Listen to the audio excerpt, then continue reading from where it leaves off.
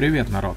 Сегодня у нас очередная попытка создания медиацентра на платформе Raspberry Pi 3 ревизии.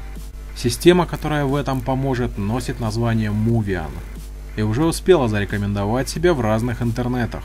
Выясним, так ли она хороша. Ну вперед! Берем систему по ссылке, форматируем карту, заливаем образ, монтируем SD-шку в прибор.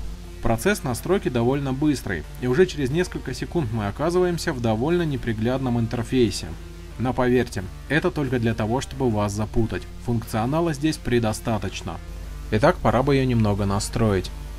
Идем в Settings, Languages, выбираем нужный язык, затем в сетевые настройки и подключаем проводное соединение.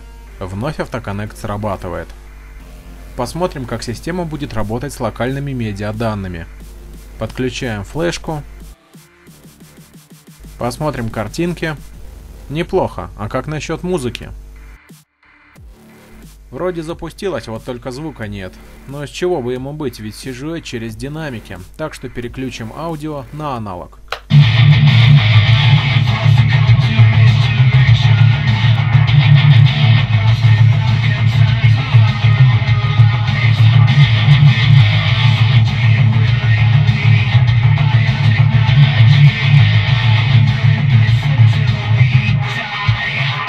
И разумеется видосики посмотреть отсюда можно, с названиями, правда, косяк. Привет, народ!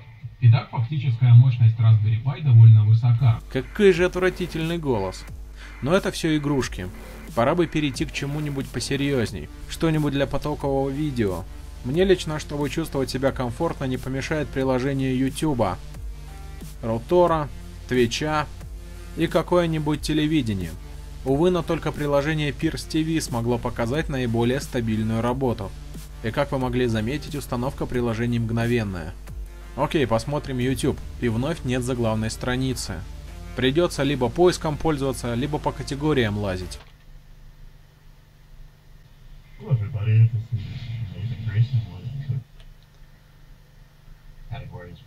Whatever.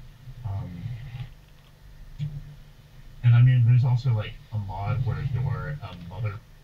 С небольшими задержками, конечно, но перематывается и возобновляет показ программа довольно быстро. Теперь Twitch, и он по каким-то причинам не отвечает. Жаль, конечно, но прожить без него все-таки можно. А что же по рутеру? А по нему фильмы, которые можно смотреть не скачивая.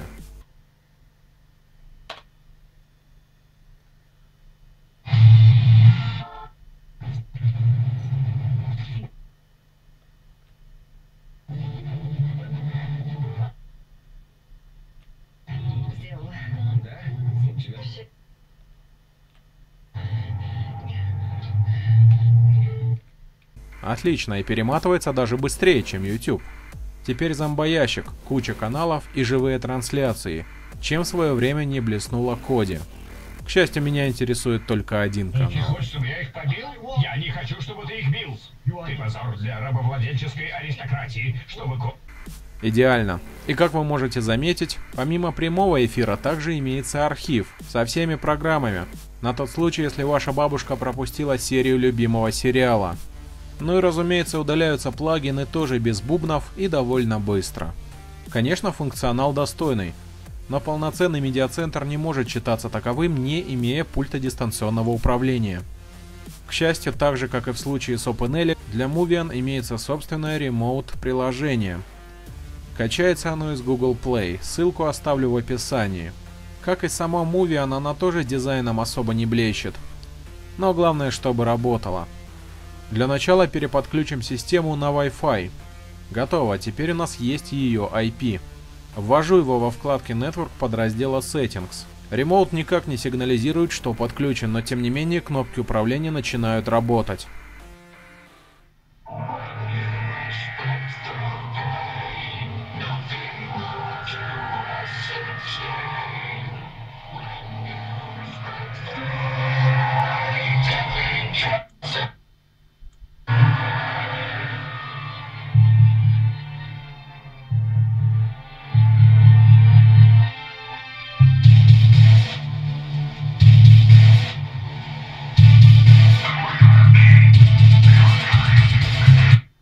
Все спокойно листается, включается и перематывается с ремоута.